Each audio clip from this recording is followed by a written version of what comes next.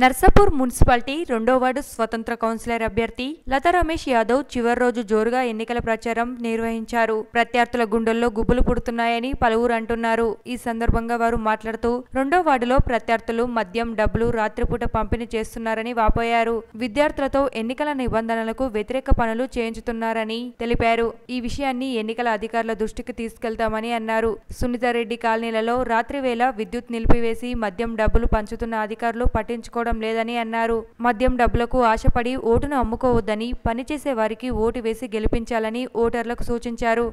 రెండో వార్డు స్వాతంత్ర అభ్యర్థిగా ఎర్రగొల్ల లతా రమేష్ యాదవ్ పోటీ చేయడం జరుగుతుంది. మేము గత సంవత్సరం నుండి కాలనీలో సమస్యలపై పోరాటం చేస్తున్నాం. గత పాలకులు ఈ వార్డులను కూడా ఎప్పుడు పట్టించుకోలేదు. గెలవడం పోవడం గెలవడం పోవడం మూడు పర్యాయాల నుండి ఇదే జరుగుతున్నది. అందుకే మేము కాలనీ వాసనం అంతా డిసైడ్ అయినాం. కాలనీలో సమస్యల కోసం పోరాటం చేసే వాళ్ళకే ఓటేద్దామని ముందుకు వస్తుర్రు మేము కూడా అలాగే సంవత్సరం నుండి పోరాటం చేస్తున్నాం. పోరాటం చేస్తూనే ఉంటాం. కాలనీ డెవలప్ కోసం మేము ఎంతకైనా వెళ్తామని డిసైడ్ అయినాం.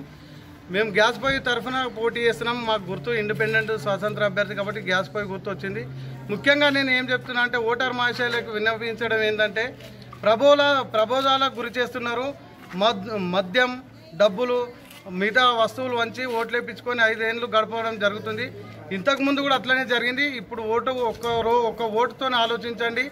మన వార్డని మనం అభివృద్ధి చేసుకుందాం. మనం అందరం కలిసి ఉందాం.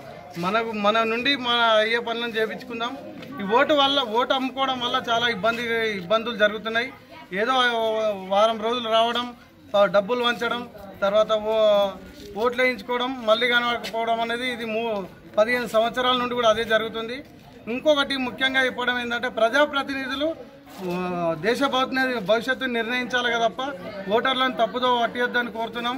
విద్యార్థులతో కూడా మద్యం పంపి చేయడం జరుగుతుంది రెండో వాట్ల చాలా మంది స్టూడెంట్స్ ఈ పని చేస్తున్నారు.